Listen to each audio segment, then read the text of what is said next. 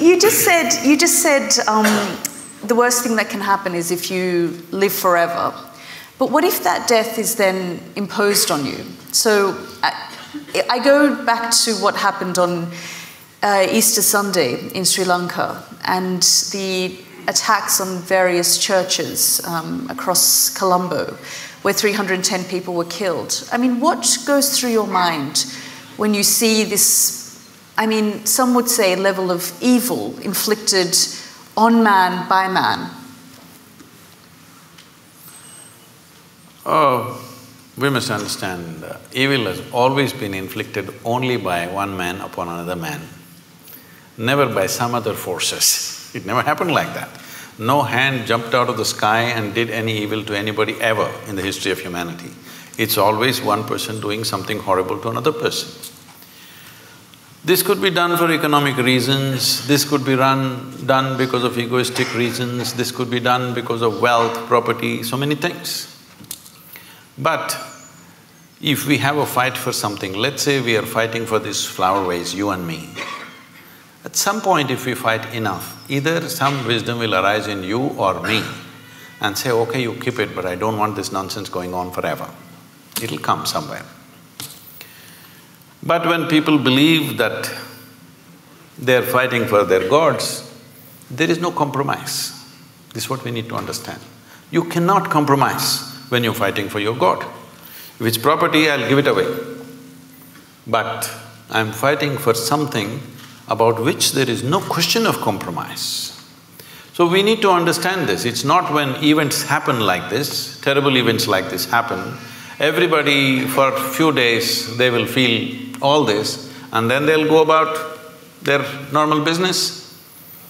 We must understand the moment you believe something and I believe something else, it's just a question of time when we are going to kill each other. Maybe we will, or maybe our children will, or maybe their children will, but it's bound to happen. When you believe something, when you believe means just this, what you do not know you assume and you concretize this assumption in your minds and you gather numbers. If these thousand people here all believe one thing, and when we step out on the street, if they all believe something else, inevitably there's going to be a clash. It's just a question of time. How do we deal with this though? So, you have set up the menu, but you're surprised when it gets served on your table. Why are you surprised? It is bound to happen. It's bound to happen. All this talk about just adjusting and, you know, creating little bit of peace here and there is not a solution.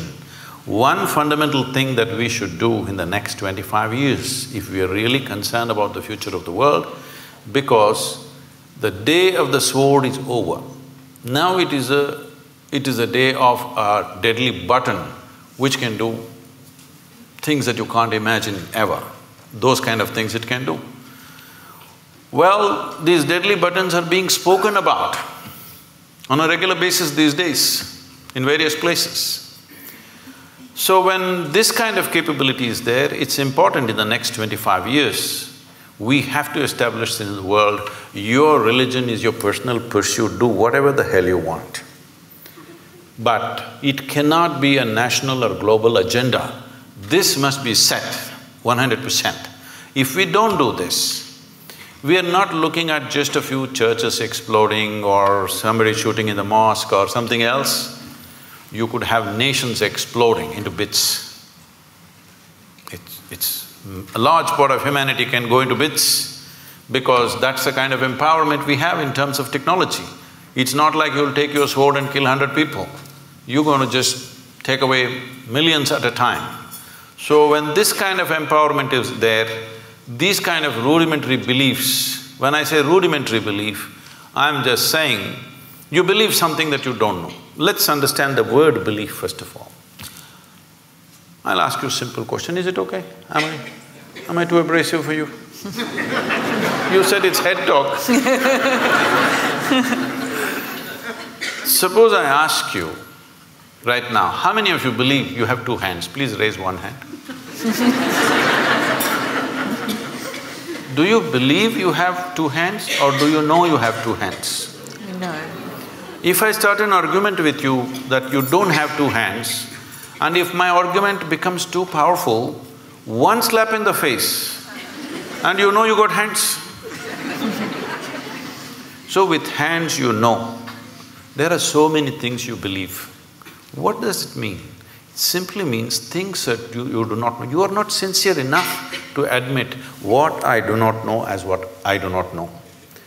Because you've not understood the immensity of I do not know. Only when you see I do not know, the longing to know, the seeking to know and the possibility of knowing becomes a living reality. Otherwise, everything I do not know, I just assume. What is the point of that? The moment you assume and you gather thousand people who assume the same things and I assume something and I gather ten thousand people who assume the same thing, this is… clash is inevitable, believe me. But it's easier said than done to say, well, in the next twenty-five years we need to get out of this mindset. Well, never before this was possible. Today we are sitting here just talking to a thousand people. But you know that today we have means, what we speak here, we can make it reach the entire humanity. This was never ever possible. Many fantastic human beings have come, but what they could do was minimal because when they spoke, hardly ten people heard. Today you can sit here and speak to the entire world. When you have this capability, how come you say you cannot transform the world? We can. It is just that, are we committed to making it happen? I was just talking to somebody who was some kind of an expert on the internet. That's when I started going on YouTube and everything. this is about twelve years ago. I was talking to someone in United States who is some kind of an expert on the internet affairs. So I've never gone browsing or anything, I'm just busy with what I'm doing. So I just asked, what are people looking for? For hours on end, they're on this net. So he very casually says, uh, Sadhguru, uh, about seventy percent is pornography. I said, what? he says, yes. I didn't want to believe him. I said, this is not possible. It can't be seventy percent. Maybe some people are looking up something. But then I check with a few other people, everybody says seventy percent of data is pornography. And they tell me, every year some 1.2 million children below 15 years of age are being sold on internet. What's wrong with us?